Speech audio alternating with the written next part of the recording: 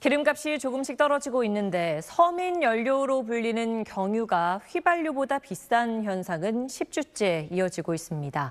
오늘은 가격 차이가 100원까지 벌어졌는데 경유값이 왜 이렇게 비싼지 언제까지 견뎌야 할지 정혜진 기자가 취재했습니다.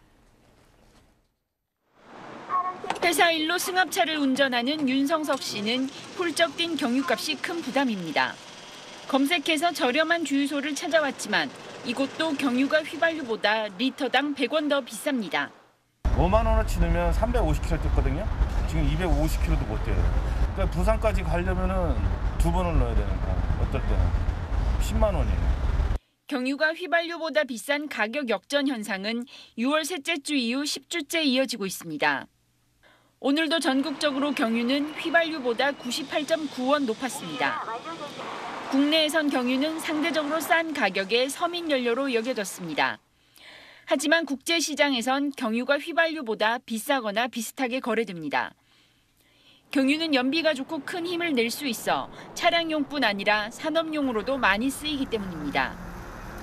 그런데 우크라이나 전쟁 이후 경유 품귀 현상이 나타나면서 국제 경유값이 떨어지질 않고 있습니다.